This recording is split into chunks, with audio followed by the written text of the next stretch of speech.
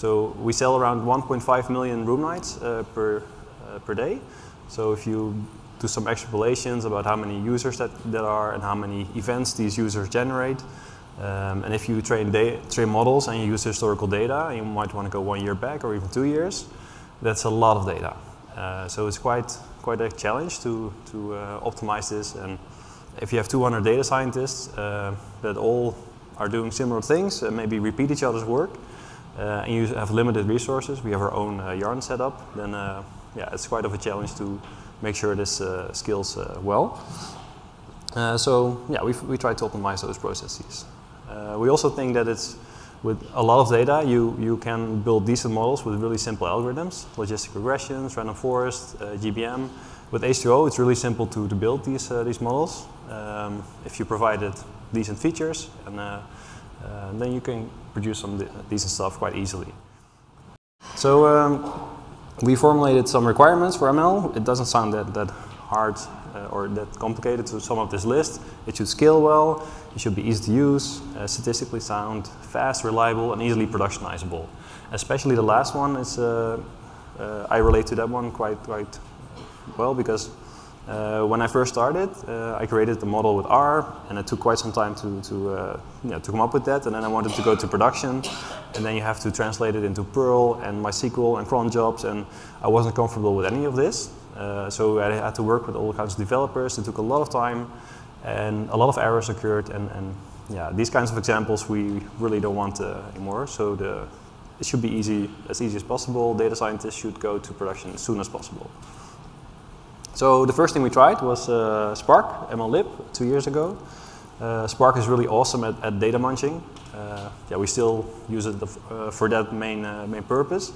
And we also assumed that uh, Spark would also shine with the ML components. That wasn't really the case. It was quite unstable. It was also quite slow. Um, not many functionalities for the people that were using Python and also quite hard to productionize. And the predictions were, were also not that fast. So we, we continued to search for something better. Then we met uh, H2O guys at Strata, um, and we tried it out. It was really uh, fast, super easy to use, the skills really good. Um, the Mojos, or the Pojos back then were, were really awesome. So that was, were good sell, uh, sales for us, so we, we continued working with that. But as soon as we tried to use it with more people at once uh, during peak hours uh, during the week, uh, we, we couldn't really rely on, on uh, stable sessions. So we use Yarn. Who's familiar with Yarn? And, uh, okay, so basically we have limited resources. We have thousands of machines with a lot of cores, but we also have a lot of people that use a lot of cores at the same time. So you need to distinguish or uh, uh, balance who gets what. Um, and Yarn also takes away resources when someone else might need it.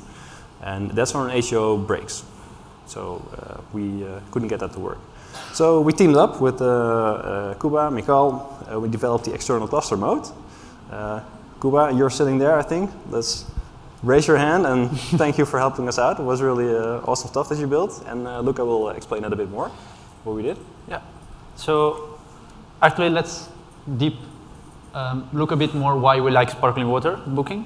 Um, so as we said, for us, this represents kind of uh, taking the best of two worlds. We really like the data munching ability and possibility with Spark to have this distributing computation so that we can create data frames with the meaningful feature that we want to use for training. But we didn't really like the algorithms from SparkML, and instead we quite like what H2O provides us. And the integration between these two pieces of software is quite smooth now, and that is really something that can boost our workflows and help us out to develop better models. Uh, so let's see how this usually looks like. Um, so as you can see on the left, we have data sources. sources. So on our front end, we recall and we collect a lot of information about what our user look. So what kind of searches do you do on the website? What kind of hotels they look at? What kind of reviews they read?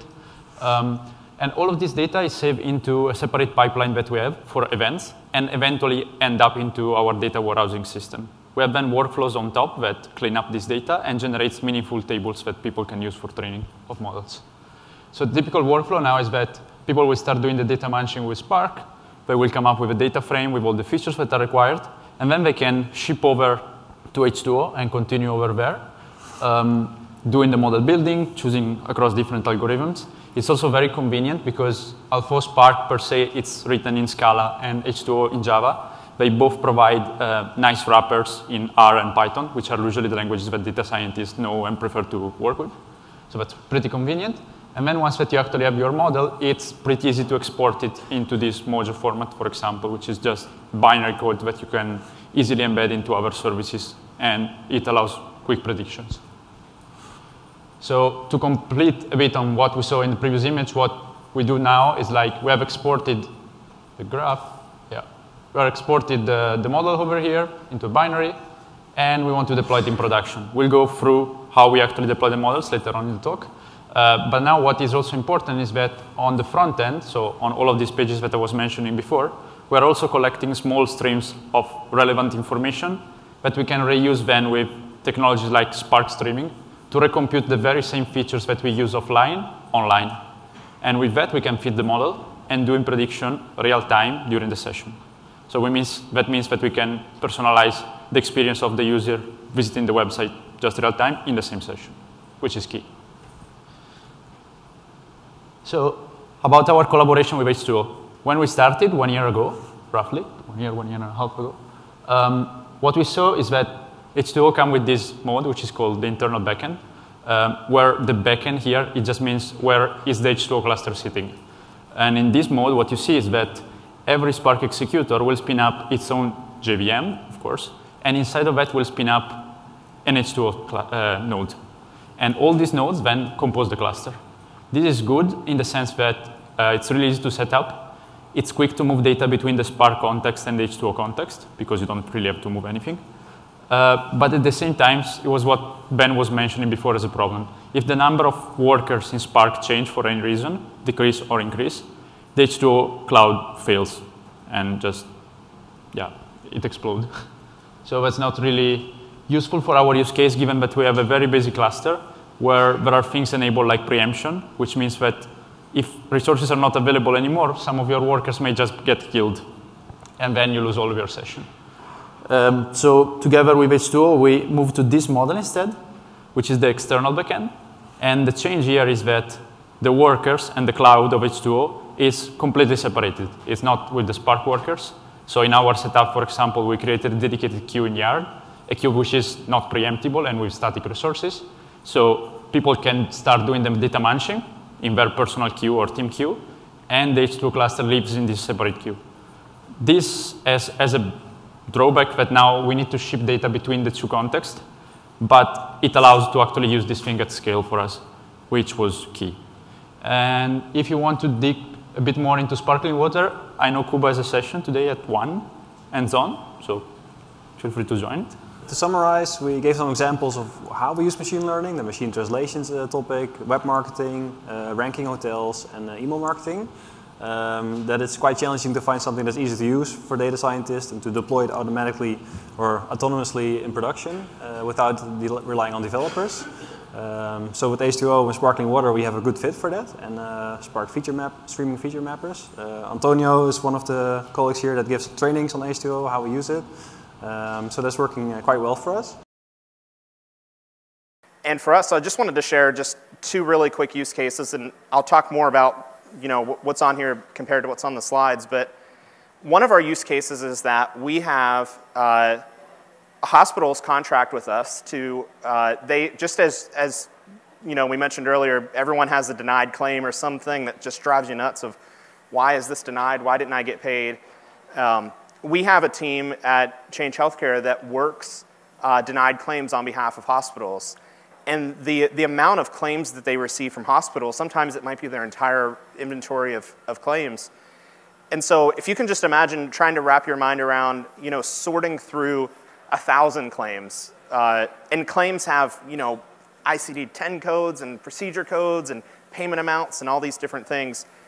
How do you actually, if, you know, if you were given the task of here's a thousand claims, which ones uh, should we work because we only have so many resources? Uh, work being, you know, uh, file an appeal on behalf of the hospital systems uh, versus which ones are just, you know, uh, dead money basically. Um, our old flow was to uh, we would have individuals that would, you know, analysts that would go through and sort through thousands and hundreds of thousands of claims to try to identify what to work. Um, we came in, uh, we, we used H2O. Uh, we have a handful of models to help us say which, which claims should we work on, which ones shouldn't we. Uh, and, and if they are incorrect, how much, what's the value in terms of the, uh, you know, the, the total potential?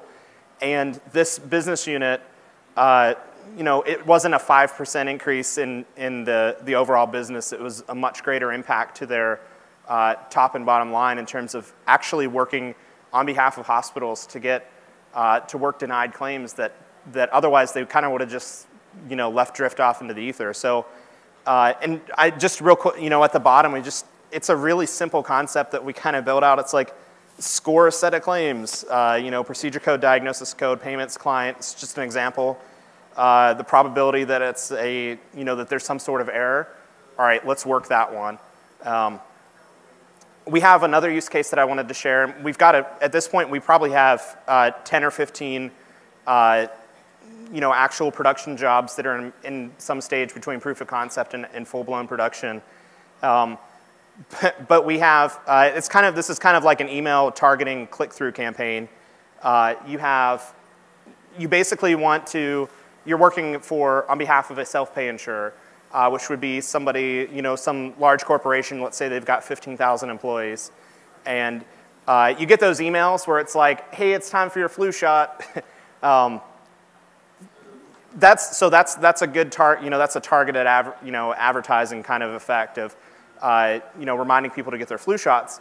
But how much further can we take that? Can we say, you know, who's likely to have a knee replacement in the next six or nine months, or who's likely to have a hip replacement in the next six or nine months? And it's, whenever you're talking about hundreds of thousands of, or tens of thousands or hundreds of thousands of patients, we just can't wrap our minds around what that actually needs to look like. And further, we can't, it's hard to use data to drive your decisioning of what, how to make these choices of, of who to target and who not to. And so this particular use case of predicting procedures, and you know, let's say it's a knee replacement as an example, uh, we pair this with another division within our company that attempts to go through and uh, create uh, targeted uh, messaging and content to say, uh, not just for reducing cost. This isn't so much like a high deductible health plan, you know, let's try to save as much money as we can.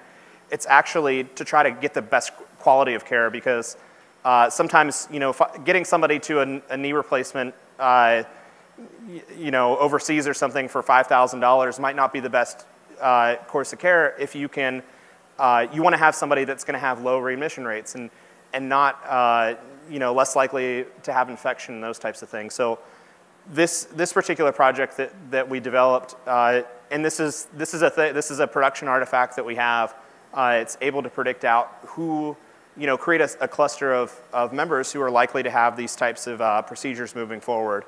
Um, so, so those are kind of just two high-level use cases of, of how we did, of what we did, and I wanted to share a little bit about how we do it because we we think for healthcare that we've established uh, for healthcare in the cloud. Um, it's well, healthcare in the cloud is kind of an oxymoron to, to some degree, but for us, we're really proud of the the you know, actual tool chain and tool set that we have. So that's kind of our workflow in terms of how we're, uh, our team models. But the, the one of the things that, that is essentially, that is really cool for us is our, how we handle our batch processing. Um, we, the, the use case that I described earlier about um, how we handle uh, our, the denials, the denied workflow. We, we run that model, we retrain that model and, and run it uh, kind of on a weekly basis uh, on average, and we, we follow this kind of framework. And it only runs for one hour a week. And so in the old school data center mentality, uh, you, would, you would buy some server or have some server hardware, uh, pay quite a few thousand dollars to be able to host and run this model. For us, one hour a week on Amazon uh, is, I don't, I don't know the math offhand, but less than $200 maybe. Uh, so to be able to go into a, uh, you know, and this is, a, this is one of the core concepts of the data lake, to be able to go into a, a executive meeting and say, well, and they, and you know, project planning, it's how, what's the architecture cost going to be? And it's like, well, it's, it's going to be less than $500, uh, just, just the cost to, to run EMRs for an hour a week. Um, this, is, this is what we get to say. And the way we do it, uh, you know, basically, we have a file that's dropped within our process. Uh, that triggers a Lambda function. I don't know if the laser, I don't think the laser works very well. Uh, it triggers a Lambda function. The Lambda function will spin up a uh, H2O, or H2O and Spark uh, on EMR uh, using the AWS uh, architecture. And then basically train and score a model right there, return the results back, that's that bottom left corner, uh, back to the data lake, and we'll also alert the supporting application that, hey, your file's done, and then they go in and pick it up. So the whole end-to-end piece, it's, it's a, this, is our, this is basically our method for how we want to um, handle our integration of our data lake across many different, um, many different silos within our business. Uh, being a kind of a centralized data science team. So the, the main flow is that it doesn't matter if it's on some you know, on-premise Oracle database or uh, Microsoft SQL Server or whatever it might be, we can have a supporting application, get our data into our data lake, we can do our processing on it and return the results back. We don't need to do a whole lot of specialized integration back into production workflows. Um, so for us, and this isn't, this isn't anything special to Change Healthcare. This is a very common, you know, just how do you handle batch processing with EMRs, uh, with, with, you know, on-demand architecture in essence. And so that, that brings us to, to what's next. And I, I wanted to just share just a really quick story um, that, that we're successful with with H2O uh, kind of over the past week. If you, if you think about what, uh, you think about the technology for text. So we're starting to get into, we have a lot of text across our company uh, in terms of medical records and uh, you know, appeal notes and a whole different, a whole slew of things around text. Uh, even whenever you get an eligibility, it's just one big field of text coming back to you. And so if one of the things in the industry of, of healthcare has been a concept called computer-assisted coding.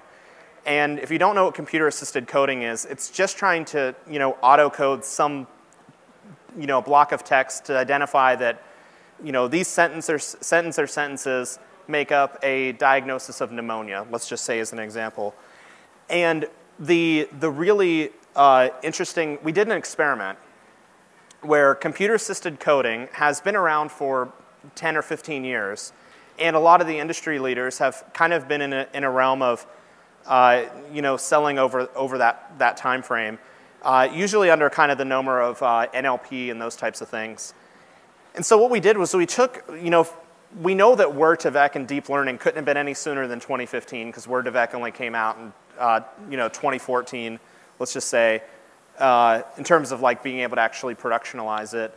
Um, before that, you know, we were looking at TF, IDF, and uh, you know, GLMs to, to build out our, what our models looked like um, with, with text specifically.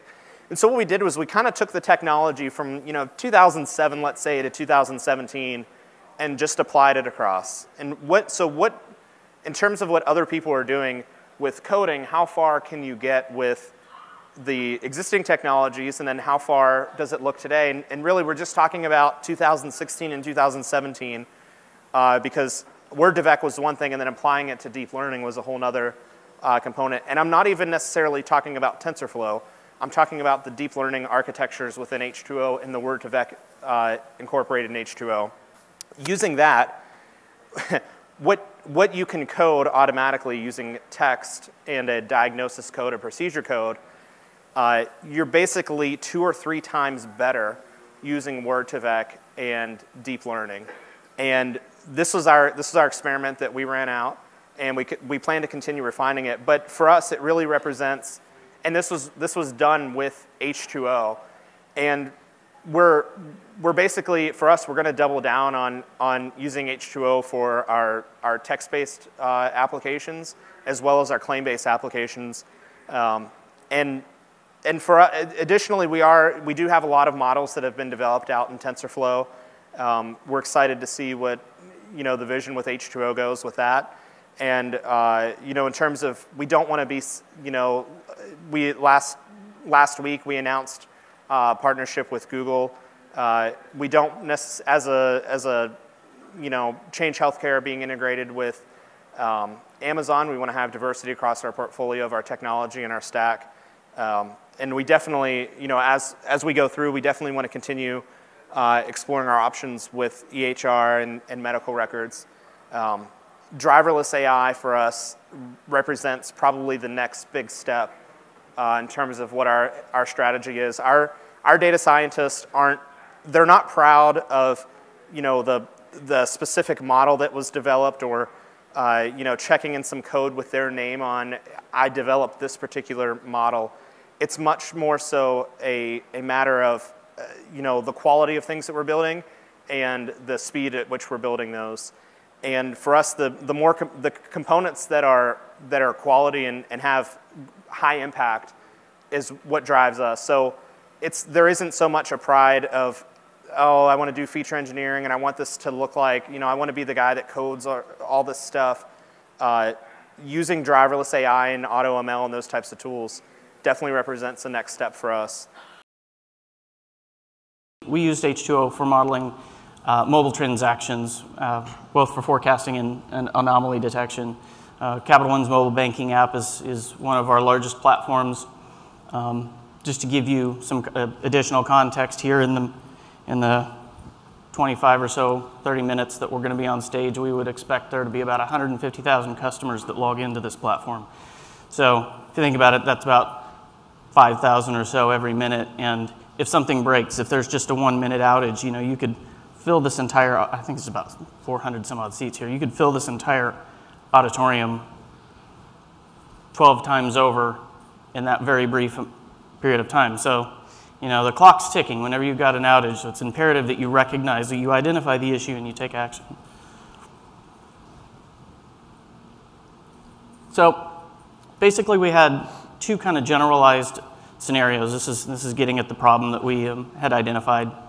You know, in the monitoring space, usually you can trigger off of a, uh, a failure rate. You know, that's pretty straightforward, simple math. Failures over, over total opportunities. Uh, pretty easy to set a threshold for, easy to detect, measure, and alert on. Uh, but the, the problem that we were looking at and we wanted to investigate further is what you see on the right side of the screen here, where, you know, if there's, if there's an absence of volume, how do you, how do you effectively alert on that? How do you inform teams that there's, a, that there's missing volume or there's higher than expected volume? In this example, you can see a brief drop, but after that, did it continue to go down but was supposed to level out? Was it supposed to go up? Is it completely normal? It's kind of hard to tell. And therein lies the problem. You, it's, it's hard to detect, measure, and alert on. If you go back for one second, just kind of keep that right image in your mind for a bit. We're going to revisit it at the end. Um, but just try to think, is this an anomaly? Is it not? If it is, when did it start? When did it end? Um, and those are kind of the struggles that we, that we face in terms of the, the low volume anomaly. Yep, thank you. Yes, definitely remember this. We're going to come back to this image that you see on the right-hand side there. So you think, well, why not just set volume alerts?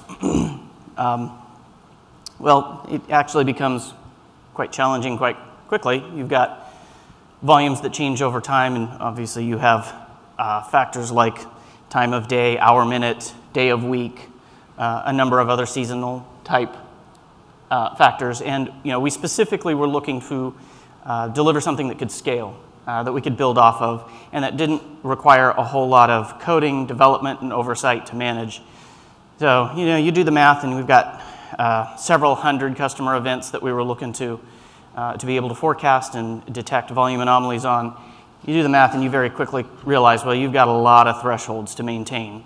And then you, thro you throw in organic growth and um, other changes, which is way too much to keep up with. And I'll, you know, this is the perfect uh, situation for you to, for you to leverage machine learning because it's really hard to code for and it really just doesn't scale very well.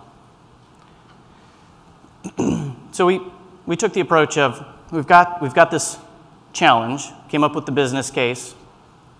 Uh, we defined the data that we wanted and needed to use. Uh, obviously, there was some, some wrangling and cleaning up that had been done, and uh, was, was in need of being uh, done. We went through the modeling process. We developed a platform. We visualized, alert, uh, uh, visualized and set alerts and ultimately piloted it. So there was a couple of things that we needed to attend, be, you know, be very attentive to. We needed to make sure that we were following any, any corporate governance requirements. Um, we, used, we wanted to use available data science and machine learning resources, hence the reason that we partnered with a couple of key players. Uh, we wanted to leverage platform engineering and op open source technology. And um, we wanted, again, to ensure that it was, the solution was usable and scalable. Thank you. So once we determined we wanted to use a machine learning approach to this, um, we started using sparkling water. Um, mainly for one, we wanted to be able to prototype. So we knew, you know, we had a data set we hadn't seen before. As Donald mentioned, his team was kind of the business experts on this side of it. Um, so we wanted to approach it from a bunch of different angles, and sparkling water, and specifically the H2O piece of it, allowed us really rapid prototyping. Um, we started with a GLM. Um, we tried basically everything kind of in the suite of H2O models. Um, and we actually settled on a deep learning model to begin with. Um, and when we moved from our non-prod to our production environment, we realized that the, we had a smaller data set um, and GBM was more um, appropriate for that. And by being able to um, run everything through REST API, which is how we ended up productionizing our software, um, it's a pretty simple change just to put in the new parameters, change the reference from deep learning to GBM. Um, and now we're actually capable of, of, switching between the two if we want, or kind of incorporating any other model um, that we see fit as we develop and, and get more data and, and, kind of learn more from the process. Um, so as everyone's you know, all aware, H2O um, is great in terms of you know, it's in-memory processing. So for us, um, we tried, we're approaching it by doing a cloud-based solution, um, and we wanted to have that speed with in-memory. Um, and we have a bunch of Python experts on our team. Um, so we wanted to build out using Python, um, using the Spark capabilities in Scala to unify our pipeline um, that we were coding out. And it, it, just was seamless by using sparkling water and the REST API approach. Um, and then in terms of actually testing the models, um, being able to use the grid search for optimizing hyperparameters, it's just a really big time saver.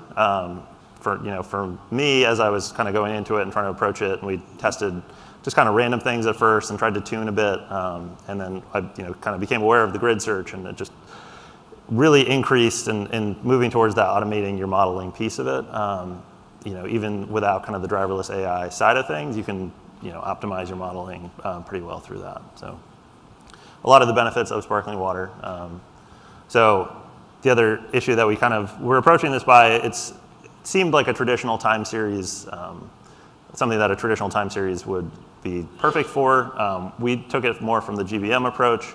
Um, a few different reasons. So traditional time series, if you're not going to adjust for it, is going to assume you know, stationary data. Um, and obviously, if we're looking at mobile application usage, you're going to see day of the week and week of the year, and holidays are going to play a factor, and, and seasonality. Um, and we also have a lot of different gaps within our data, or for example, uh, incidents that might occur and cause downtime that we don't want to model for um, because we don't want to inc incorporate the bad data as we're trying to forecast a normal uh, pattern for the data. So by being able to incorporate this um, as a GBM instead, we can include um, external variables. So things like if you're trying to make a payment, um, a lot of um, payments happen on the day that you get paid. So we'll see, for example, Fridays, um, large spikes in volume which you can't normally do with a, a traditional ARIMA um, or you know, kind of one of those types of time series. Um, so we incorporated a bunch of different variables, um, and they're very easy to include, to test, exclude if we didn't want them, or you know, add them as a weighted column, a lot of variability in there, um, and very easy to, to customize it.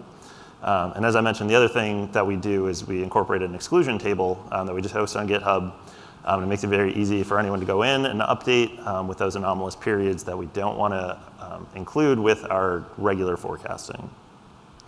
So that kind of sets up what, um, what we were trying to accomplish in terms of the modeling side, and then we get to actually productionizing it. So we needed a way to build out a pipeline for it that we could host, um, that we could scale and was repeatable. So um, as I mentioned, we were looking cloud-based, open source, so using a few of the different products from the AWS suite, um, S3 for some storage of static data. Um, we run our anomaly detector on Amazon EC2. Um, and then everything else is run using time series database, which is InfluxDB um, that we're using now, and visualizing through Grafana. Um, and we'll show you an example of that in a little bit um, in terms of what it actually looks like. Um, but this made it very easy to be able to scale out just by having this framework um, available to us. Um, and we can swap in different pieces. you know, we can exclude the S3 if we don't find it useful. We can you know, kind of build out the EC2 capabilities. If we need more power to it, we can easily you know, add extra nodes to that cluster. Um, but so this is what we started with in terms of our uh, production pipeline. Thank you. So what does it look like? Um, just as a quick reminder, you know, our, our customer here was the, the, the teams that support, uh, that monitor for incidents across the enterprise. So there are visual, uh, contextual types of uh, elements that are kind of packaged in with all of this so that they can very quickly make sense of it. You know, there's, this is a group that is, uh,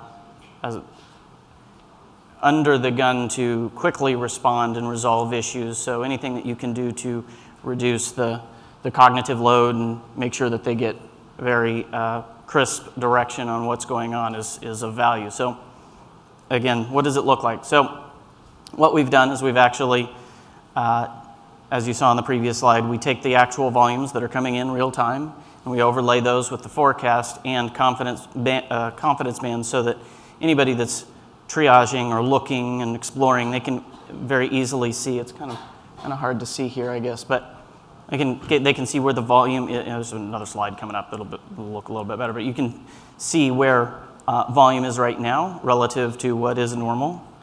And um, across the bottom, you'll see uh, an anomaly band. So uh, what you'll again see here in a minute is when there is an anomaly, it's clearly marked. It's indicated with a timestamp. Uh, you can measure that. You can um, correlate it to the start time of incidents and other alarms. And what we didn't have in the, in the pipeline shot, um, and kind of below this, if we extended this, we can um, have alerting capabilities attached to it, so you can see as it lines up. Um, and if you want to switch to the next slide, but any, any point where it goes red tells an anomalous yep. point, and then below that, there's another area where it shows this is where it alerted, this is for how long it alerted, um, and sends that kind of extra information. So you, have got the, the, uh, the view of it from here, but you're also getting messaging um, alerts. Yep. So um, we mentioned on one of the first slides to remember that, slide, that panel that was on the right-hand side. It's kind of hard to tell, you know, what, what was normal, what was going on. This is the exact same data, but with our forecast. you can clearly see that there was a drop in volume and that uh, drop was maintained for a period of time before it picked back up. Now, uh, basically represents about 12% of the volume was missing. And in this case, fortunately, it wasn't actually customers that were not getting through and making it into the mobile app. Uh, this was actually a data issue, which you know, was helpful here because we were able to identify it. Um, the, the, the team that's actually the, the, that generates this data in this slide wasn't even aware that there had been a drop in volume just because they don't, they don't have the same context, these visual cues, the anomaly detection. They don't have access to it yet, but we're working on that. So it, was, it uh, you know, kind of proved that we were able to provide the necessary insights and, and, and um, highlight when there was a problem. But did it actually detect an incident? So this is one of the early examples where we actually did have a production issue. And um, again, you can see the spikes where volume at, lo uh, at login spiked. Uh, and you know, when, when assessing this after the fact, we were able to not only quantify that there was a 20,000, uh, that volume was 20,000 logins higher than expected.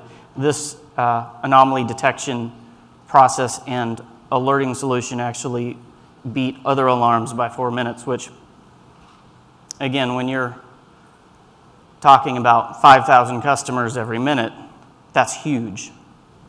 That's, well, 20,000, that wasn't planned. 20,000 customers, right? I mean, that's, that's, that's, that's a, a huge win for our customers and for the teams that are responding.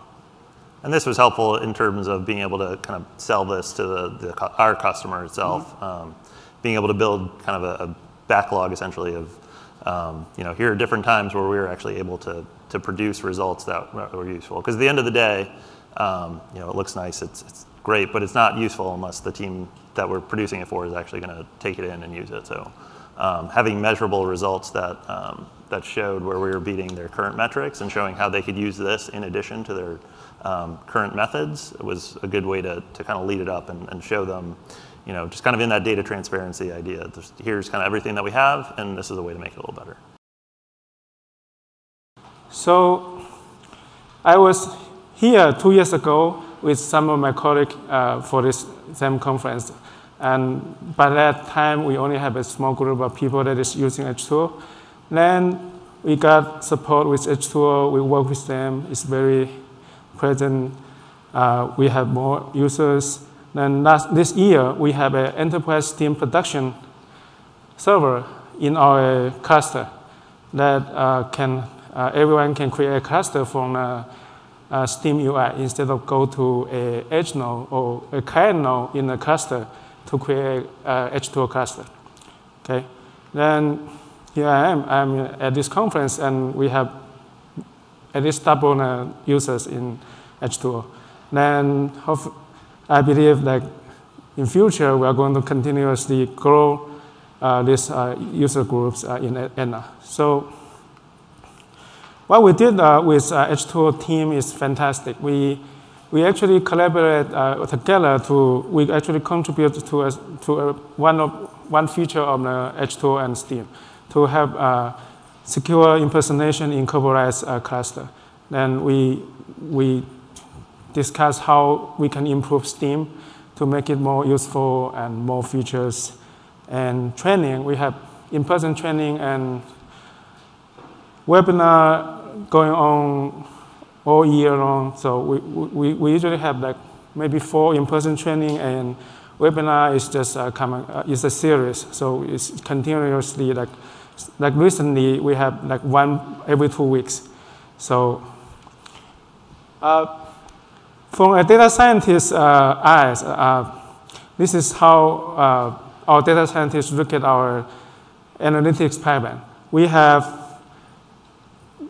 our projects, they are all organized as uh, with a business partner. The business partner will work with a data scientist and some data engineer and uh, statistician, and they identify a problem, then we go, go look at uh, this work? No? Yeah, look at data. We look for data, then uh, we, we ingest them into our cluster, then we clean it, then you clean it, then uh, make it ready for the model. Then uh, at this point, sometimes we will generate some visualization reports for uh, business partners so that they have some idea about how the data look like. Then we continue this line to extract feature, generate feature, uh, models. Then we have some results. Then we either productionize it this model to make it real time for scoring, or uh, we, we just tap back to uh, business partner and ask for some feedbacks, and we keep improving the models, like add more features, create more features, like this kind of uh, regular data engineering job. Okay, so in my in engineering, uh, I look at this way. So all our data is in Hive. I don't know if uh, other companies doing the same. But uh, being, data being in Hive is uh, a good way to, to handle. So we have Hive, we have Spark and Pig, and we, we do ETL with, with, with the data, and we uh, put them back to Hive or HDFS. Then uh, I don't know if this is normal in all companies, but most of our data scientists, they use R. So so they love H2O because uh, H2O for us is fantastic. Um, they create a cluster from RStudio or from Command actually. So, and they access RStudio from RStudio. Sorry, access H2O cluster from RStudio. Then uh, once the model is done, then export it to a Java project or module, then productionize it in different ways, depends on a business requirement. We could convert it into a REST API, we could create a Hive UDF, we could just do a Java, simple Java application. So our use case, this is not uh, a complete list. I just did a quick survey from all the data scientists I know and uh, came up with some uh, use cases we have. We have in production uh, some emergency room revisit uh, model and customer experience model and overpayment model. And algorithms, mostly we are using GBM and uh, uh, random forest. The data size uh, we can handle them before, before use H2O is uh, more than 50 times and even more, right? We, we know. Uh, usually a RStudio server can handle maybe 200 or 300 megabyte of data, right?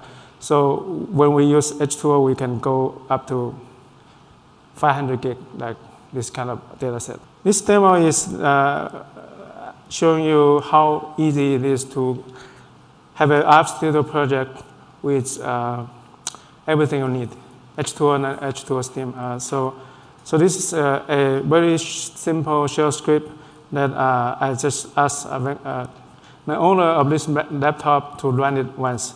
Then uh, I think I can still find the command maybe.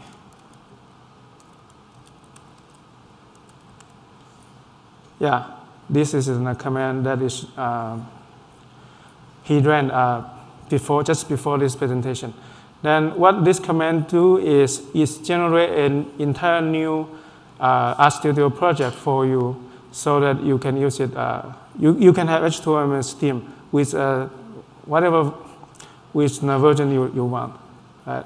So this is the project just generated by, by this program. And you can see the H2O package is 3.1406. This is a, the package I installed uh, before I abandoned the entire project. And it also has uh, H2O Steam already. So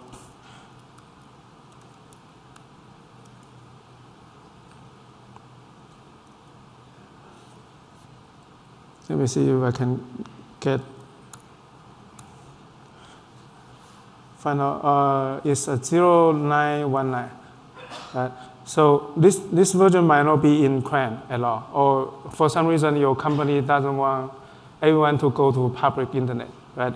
This will happen for uh, uh, many companies. So then you have, in this RStudio project, you have everything ready. You have H2 and H2 Steam. Then you can install whatever package you need, like dplyr, whatever, and go from there. So so if you uh, never used Packrat before, then uh, how, this is how you, you can find out. Go to this uh, Packrat, then uh, click Packrat option, you can see uh, this is a, a small checkbox. If you want to say create a new project,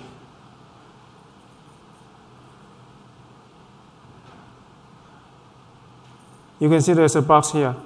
Uh, use Packrat with this project. Uh, you can it comes with RStudio. Okay. So the last thing I want to show everyone is Steam. This is an enterprise Steam. Uh, it has uh, four class, uh, four cluster and two are running, two are not. Then uh, when you need to create a cluster, you just say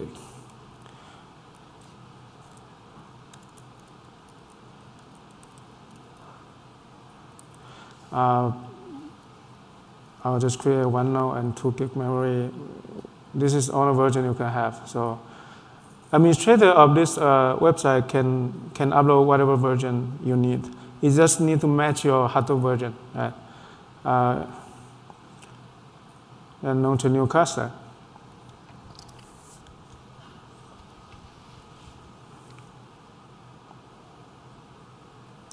It takes about maybe 10 or 15 seconds, depends on how busy your cluster is. But uh, you don't need to go to command line anymore. Right? And once this cluster is created, like I said before, um, cluster is launched. Uh, this is the cluster I created. So I can, the only way I can access flow for this cluster is click this link. Then you can open flow. Right? And nobody else, uh, even you, you copy this uh, entire URL, you are not going to open flow like me, because I, I just created it from Steam inside Steam. Okay. In order to, so what I put in inside this project is I ask every user to encrypt a password, right, using a small package, uh, small functions, a couple functions I wrote, and uh, then you can. Uh, this is how you decrypt your password and without showing your password. And before that, you need to save your pa encrypted password somewhere, right? It's up to you. Um, then your password won't be in code anywhere.